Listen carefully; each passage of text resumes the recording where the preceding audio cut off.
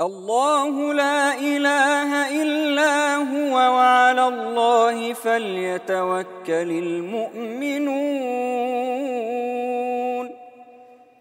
يا أيها الذين آمنوا إن من أزواجكم وأولادكم عدوا لكم فاحذروهم ۖ وإن تعفوا وتصفحوا وتغفروا فإن الله غفور رحيم.